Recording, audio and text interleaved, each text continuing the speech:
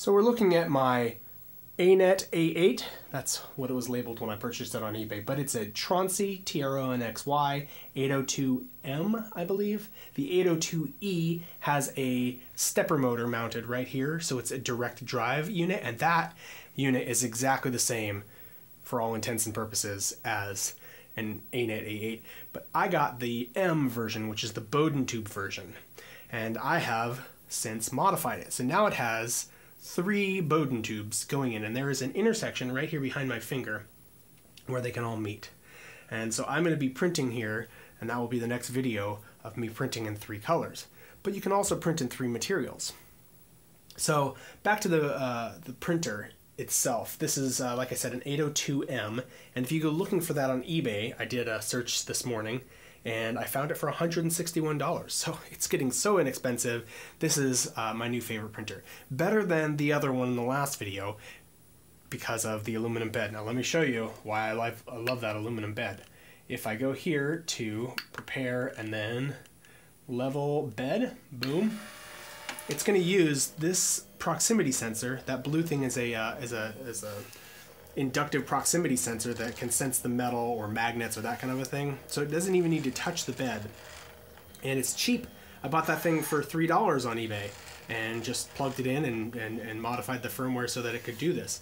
This mesh, mesh bed leveling will make a dynamic model of the bed. So it can be bowed, it can be warped, it can the bed can be any which way and uh, within reason, obviously. You can't print on a vertical bed. um, but it can be any which way, and the software will, uh, will account for it.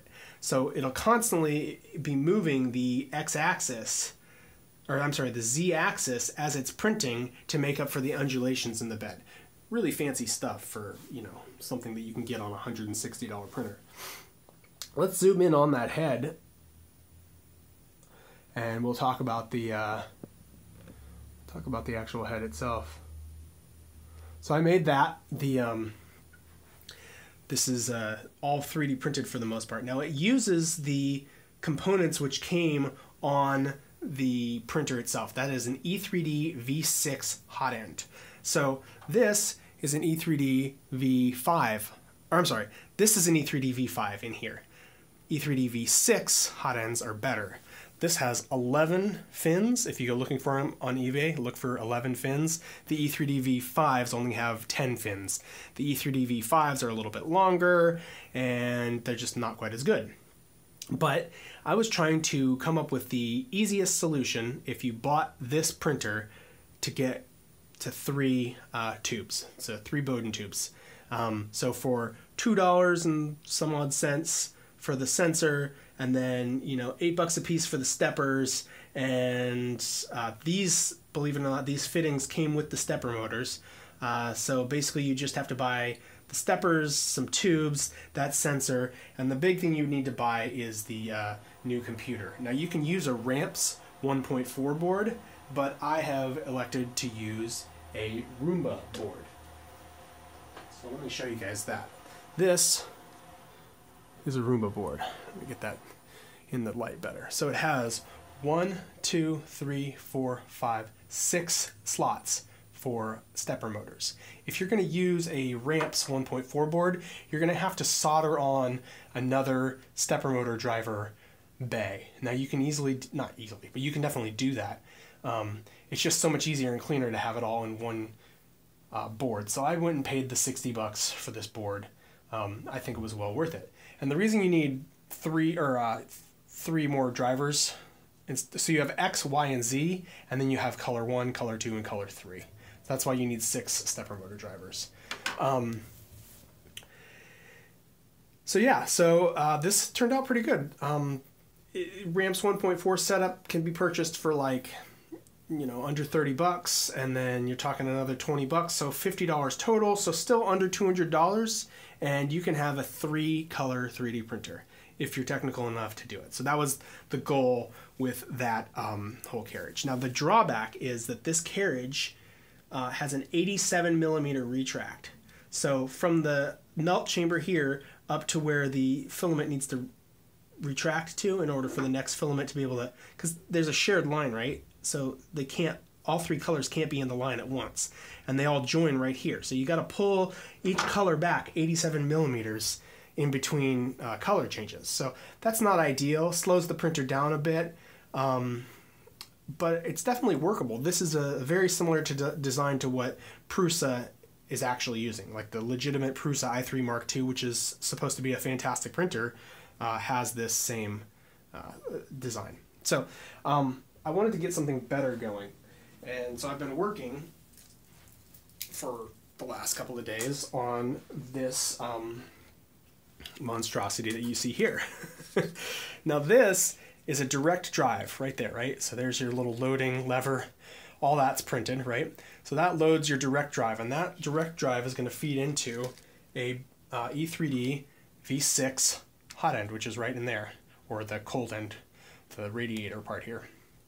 And that, um, I had to order that special. And the reason is that that special um, cold end is different from the cold ends that come with the diamond head. We'll get to the diamond head in a second. But the ones that come with it have this fitting up top here, which is the pipe fitting. And there's this giant open area there, and then that just leaves lots of sloppy room for uh, a flexible filament such as a TPU or a NinjaFlex to rattle around. And I don't want that. So bought the better uh, cold end, was able to just mount it into the diamond head uh, printer or um, the diamond head hot end, and yeah, it works great for the direct drive. But there's also two more uh, Bowden tube setups. So these will be my other two colors. So what I'll be able to do with this is have a uh, direct drive flexible material with a very short distance to travel. Uh, it will it will not get bound up. I won't have any problems printing with the flexible material. But for the stiffer materials, I will have the two other colors. So this nice setup took me quite a few days to draw up on the computer. Because I was mounting this Bowden or the direct drive servo up here on top, I had to move the fan. Normally the fan sits up there. So let's take a look at that. This is a diamond head, uh, just your hot end, your diamond. So that's what they call it. I, I don't know why. Maybe because that looks like a diamond. Uh, but it's a three-way splitter and it's a mixing chamber. So I can actually feed all three filaments at one time and it will mix the colors right there in the in the hot chamber. Um, and so obviously this is buried inside of this. Now with me, with my design, the fan here catches the air, blows it through, and it exhausts right inside of there. Uh, kind of blows out that way. Normally, what you would see uh, and almost all the designs which I saw on the internet have a fan mounted on top. So that's going to blow the air straight down and then out past all three radiators. Um, but I needed, like I said, I needed that top area for uh, the direct drive motor. So um, I'm pretty proud of this design because look at the look at the size compared to the fan, just the fan unit here. It's not too much bigger, and I was able to get uh, the cooling fan for the uh, hot end itself, and the part cooling fan with this little uh, detachable sort of uh, blower nozzle. Um, replaceable, easily replaceable if you bugger it up somehow. Um, yeah, and then so there's the uh, the the spring-loaded sort of arm to help you load the filament. Okay, so why I recommend this printer now over the other printer. I went looking this morning and I found this printer for $161. Uh, 802 or Tronxy TRO-NXY 802M on eBay. You'll find it. Um, but you can do this fancy thing here, which is bed leveling. So this sensor, again, the $2.50 sensor on, on eBay, uh, will uh, take nine spots on the bed here and it will make a mesh out of the bed. So it models where the bed sits. And I can have this side being like, you know, quarter of an inch higher than all the other sides. And it will print. It's got a model of the bed now. So it will print on that slanted bed and won't have a problem with it. The bed, the bed can also be like twisted or bowed or all kinds of funky stuff can be happening with the bed. And because it's dynamically sort of printing on a on an undulating surface that it's modeled, you're not going to have a problem uh, with bed leveling. So that's just a pretty fantastic feature. Thank you, Josef Prusa. Yeah.